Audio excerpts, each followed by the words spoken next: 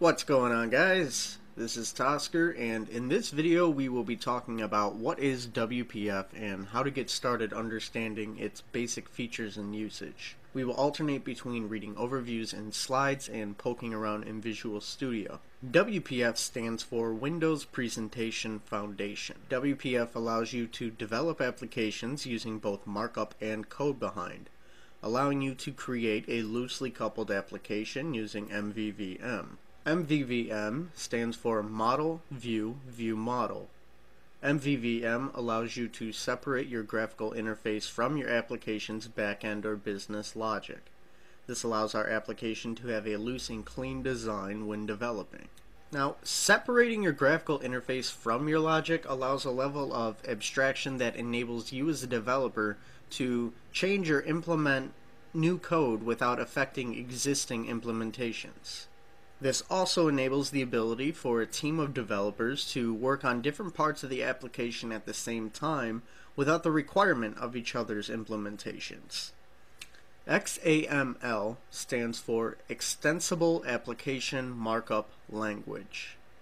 XAML is a XML-based markup language designed by Microsoft. This represents the visual presentation of a WPF application very similar to how HTML does so for web pages. So, now we are going to open up our Visual Studio and take a look at creating a WPF application. Okay, so here we have a new WPF application I started, named it WPF Tutorial. And first thing I want you to notice is we, down below here under the designer, we have a uh, area to create our XAML. Now I'm going to talk more about this later, but as for now I just wanted to mention it. We also traditionally have our toolbox. Now as much as you are able to use this toolbox, no different than you were able to in WinForms, I, I still highly advise against using it. So in here you can get your traditional controls such as uh, let's just do all. Such as your button, and you can drag and drop it. Drop it. However, you see down here in our XAML, it's going to automatically generate everything for us. And you're going to see it's going to already give it a name, uh, its content, meaning it's, uh, in this case, the text inside the button, it's going to horizontally align it, give it a margin, vertical alignment top, and width 70. Like, these are all, this is not how it should look. This is, uh, it's a very terrible and ugly way to be designing things. And if you ever want to start doing binding and organizing your XAML, it's going to look completely and utterly disgusting. And there are much cleaner ways to do this, which is why I advise and I'm going to erase that is why I advise against the toolbox. One thing I do like the toolbox for though is if you're not familiar with every control WPF has to offer, it is nice to just go into here and take a look at what you can play around with. Another thing we have that's similar is uh, if we click our window here, where you can select it in the designer or in your XAML. And if we go over here to our properties page, we have uh, similar again to those who have been in WinForms before. We can change things like its background color, um, and notice too, this is also going to affect in the XAML. Uh, changing properties in the properties panel is usually okay, in my opinion. So we could change the background colors, we could change the foreground, we can change the window state, the startup location, the center, you know, anything that has to do with uh, this window we can change in our properties. And another thing we have is our events panel, which is the little lightning bolt right next to properties.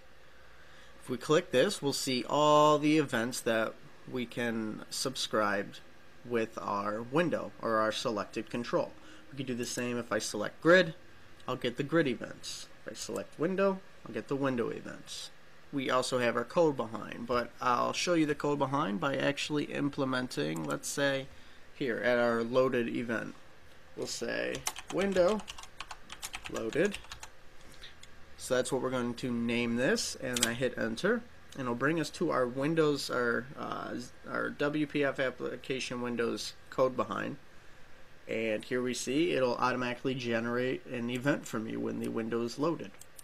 So if I want anything to happen, I just type the code here, and it would happen. And then uh, I'll go to our Solution Explorer here real quick. We also have, um, this is our code behind, uh, which is if you select our XAML, if we go back to our designer, we break the tree down a bit, a bit, then we have our code behind here. We also have our app.xaml, and this is a declarative starting point for your application. Uh, it's primarily we're going to see us using it for when we want to create global styles uh, as like a static resource throughout our application.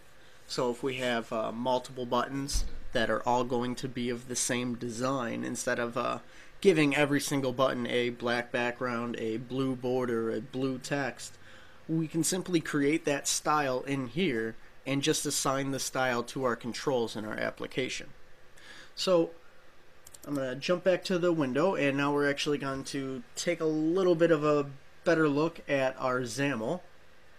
And at the top you're going to see these things automatically generated called XMLNS. Now these are our XML namespaces which are very crucial to what we do inside of our XAML and even interacting with things outside uh, of our XAML in our uh, solution or our project. So we're going to jump back to the slides real quick, have a brief overview, and then we're going to come back and actually poke around with the XML namespaces. XMLNS stands for XML namespace. You can think of your XML namespaces like when you have the using namespaces in your code behind. These allow you to define an alias that directs to a URI namespace. We declare XML namespaces using the following format. So in the yellow is a, an example of the entire format of uh, declaring an XML namespace. And we have this XMLNS, which declares we are importing a new namespace similar to using. So this says, okay, we're going to make a new namespace. And then we declare a prefix. So where it says prefix is where you would put any name uh, in which you would like to use to refer to this namespace and then the URI, which is the location URI of the namespace.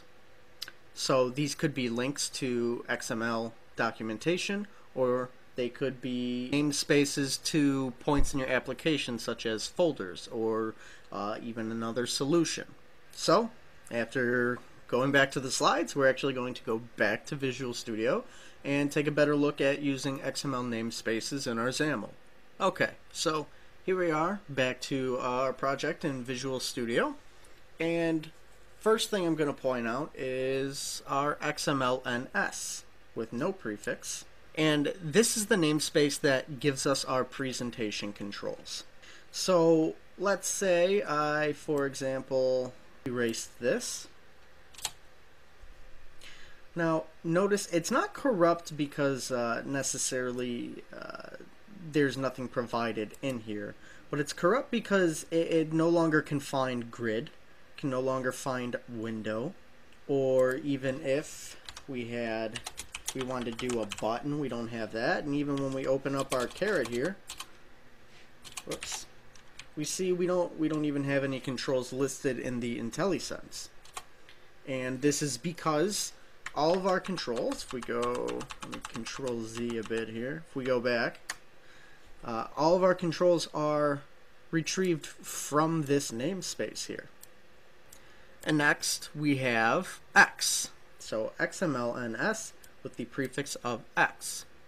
And X is used for mapping this XAML namespace in templates for projects. So we have multiple features we can use, one of them being X class, and this specifies a CLR namespace and a class name for the class that provides code behind for our XAML page. So notice this says the class WPF tutorial main window. If we look here, it is declaring to our main window, our WPF namespace main window. So it's saying, hey, this is the code behind for our window. We also have uh, within our X something called name. So we could say X name and we can actually name our controls throughout our application. So I could name this main grid panel. And by naming our controls, this allows us to reference it in our code behind. So if I go to our main window code behind again, and we say, hey, window loaded, no different than actually if I said I have a, uh, yeah, let's say a string here, and we'll say it's a name. I could set it equal to hello world. Okay, so now no different than I can access the name variable now by naming it. I can access our main grid panel because I named it in our XAML. And I could actually say on window loaded, I want the background to equal, whoops, let's say brushes purple. So here we go. And because I named this, if we actually ran our application, we would see once the window loaded, it would turn from red to purple. So back to namespaces, we also have our XMLNS with the prefix of D. Now D is for design time attributes to tell the XAML parser not to interpret these attributes at runtime. So uh, let's say I, I, I didn't want to define a original height and width. Maybe the content will adjust uh, depending on how the window's loaded. And I could remove this, but now I have a giant window, and I'll actually go to 100 for our view here. We're zoomed in a bit. But now we have a big window, and I don't I don't want to be designing in this giant window, but I also don't want the window to be defined when I run the application. So we can actually use D, our D names, our, our D prefix, and it won't be listed in IntelliSense, but we could say design, let's say design height. Okay, so I could set the design height to, let's say 200. I could say D design width. I could set that to 200. So now if I wanted to design an area that was uh, 200 by 200, I could do so now because it's going to display it with that size in our designer. But when I run the application, it's not going to be that. So it's a way of just helping you in the designer. It doesn't really affect your application itself. Which brings us to our next case, MC. Well, MC here. I don't know why I pointed down there. Well, I'm about to describe why that's there. Uh, so we have our XMLNS MC. An MC is a mapping. It, it's it's a mapping for the XAML compatibility namespace. So, for example, we use mc.ignorable d down here, and this ignores our d prefix. So it ignores our d prefix, which means it won't raise any errors when processed by the XAML parser. If we didn't have this, for example, let's say. Uh, uh, I'm not even sure what I could. So we'll just say we remove it for now. So if I removed it, notice we're not going to have any errors right away. But if I try to run the application, oh, now all of a sudden we're going to get an error. It's going to say the property design height does not exist in the XML namespace.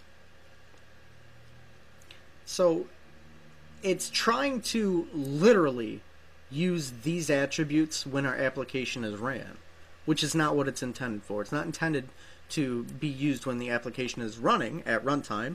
It's simply used for design time, which is what is updating here in our designer. So we'll actually bring that back. So essentially we can use it to ignore things that we only want to be applicable during design time. We also have local, XMLNS local.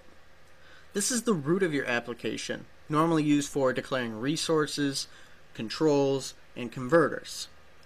But I want to make an example out of local by also pointing out that we can similarly, like how local is used, we can create our own XML namespaces to access locations through the applications, such as when we make a new folder. So I could go over here to our project. I could say add new folder. I could say say I want to create a models folder. And in this models folder, let's say I want to create an object called my model object. So now we have a models folder with a class named my model object. So now if I want to access this, or even just the folder, I would create a XMLNS, which declares I am making a namespace.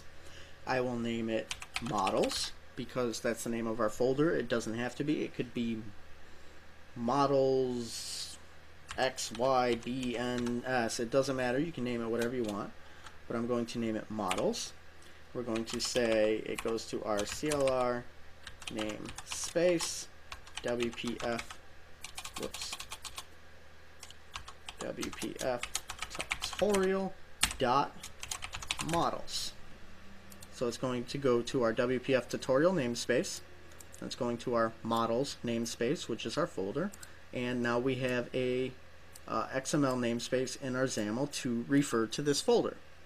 But I actually have an error there. It's CLR, not CLIR. Okay, so now that we have a reference point, I can create, let's say, window dot resources. I could create, if I wanted a data template based on this model object class, I could say data template, and I'll get more into data templates. Uh, I'm just trying to show how the namespace is used. So what I'm doing right now, you don't necessarily have to understand. Just understand that I'm using the namespace to access a certain object. So I could say uh, creating a data template and we'll give it a data type. And if I wanted to declare an X type, notice now also we're using our X namespace to be able to declare a type. I can call the models folder and I can say my model object. And then we could set the view if I wanted it to be a dock panel with a background of yellow. Let's just say that's what I wanted. Whoops. I don't know why that's bothering me. But, yeah, so if I wanted a dock panel with a background of yellow, and here it's going to say model my model object does not exist. And it's saying that because nothing has been updated yet. So if we do a rebuild on the application, everything should run smoothly. And now that all that has been mentioned, we are going to jump back to the slides one more time. I believe this will be the last time. And we are going to discuss data context in WPF. Data context is a concept that allows elements to inherit information. Data context is your application.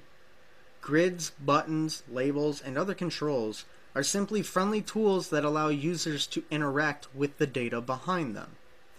The data behind them is what I mean when I refer to the data context.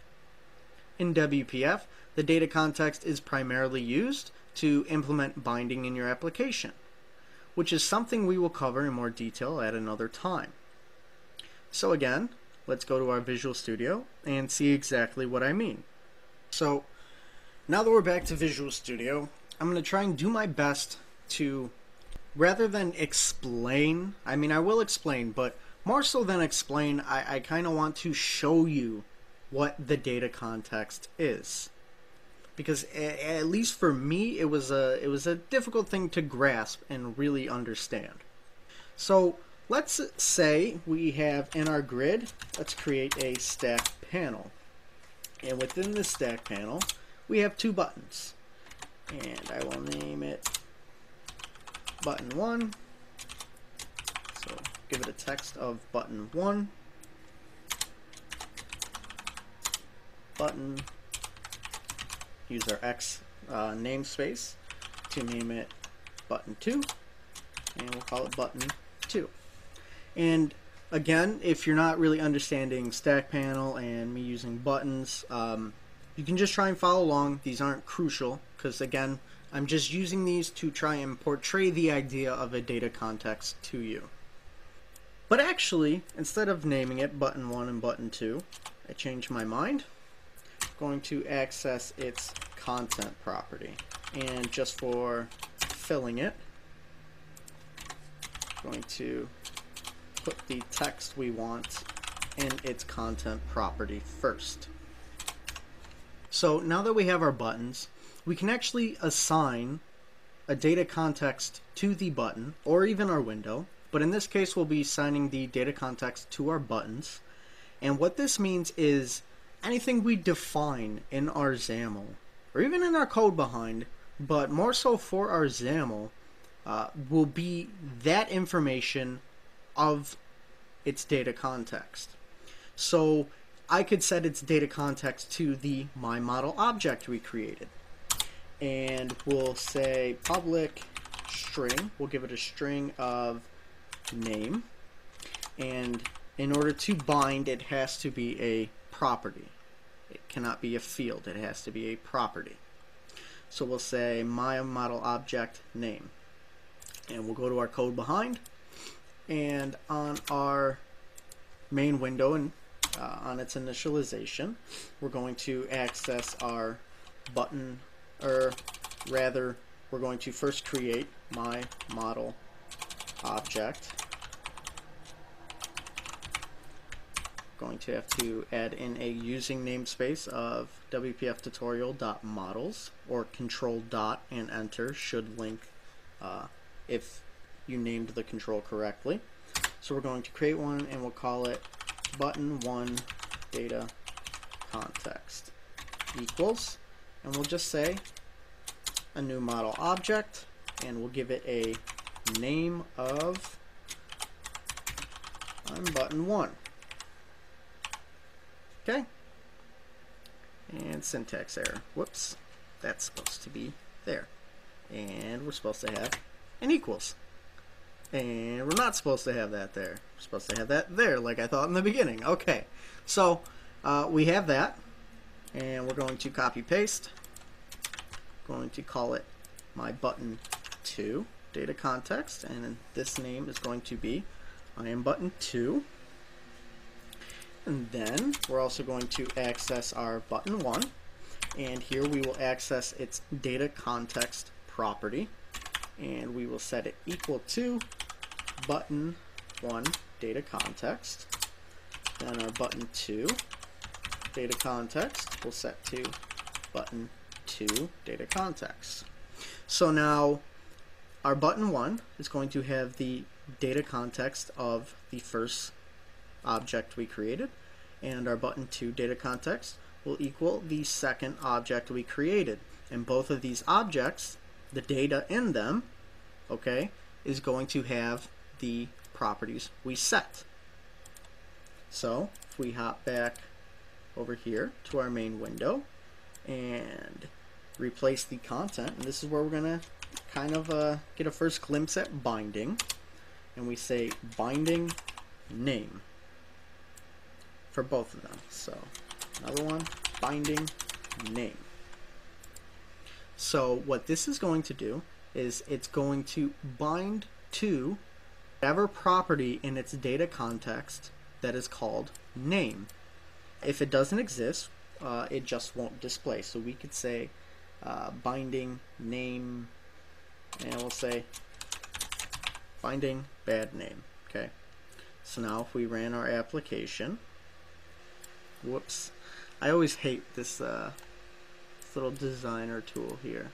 But, uh, as you can see it says I'm button 1, but rather than doing that, I'm going to give this a height of 50, just get that out of my way. Okay, so button 1 will have a height of 50, but this time button 1 will have the bad property and button 2 will have the good one. Okay, so here we have it display the name property of its data context.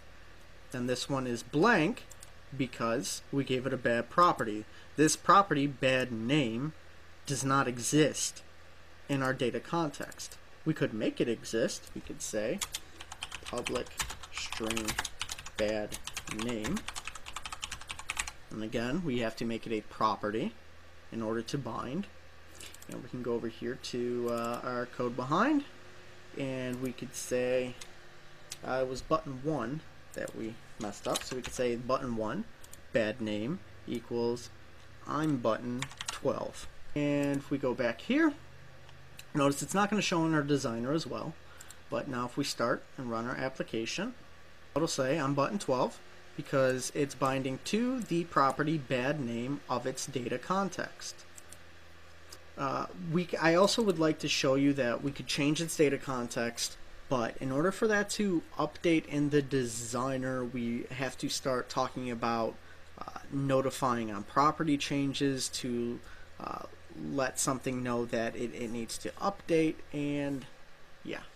So we'll talk more about that later, but I hope you understand at least somewhat of the idea that I'm trying to give here, which is um, the data context is nothing more, nothing more than the information behind it.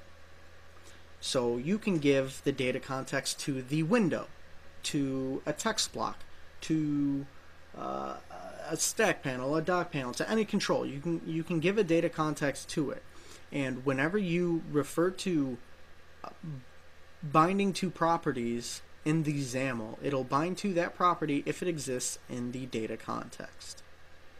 So just think of the the graphical interface as it's nothing more than a skin and full of buttons and when you push the buttons behind it is where the actual logic takes place. Uh, take your if you look down at your keyboard for example on your keyboard you have your keycaps and your keycaps are over buttons and when you push the keycap it'll push a specific button. Now I could replace um, the left arrow key on my keyboard with the top arrow key. I can take the keycaps off and I can put them in each other's positions. And despite the left arrow key saying left, if I place it on the top, where the top arrow key is supposed to be, and I push that, it's going to push the button that reacts to the top button being clicked. So just because I changed the keycap, its its front end display and what it what it looks like to me, isn't changing what it's actually doing when I push that button in that spot. So I hope I didn't just make that any more confusing because I kind of feel like I did. I think I didn't do too bad. If you have any questions or if I did make anything more confusing, feel free to leave uh, leave a comment, and I will gladly do my best to respond and not be more confusing about things.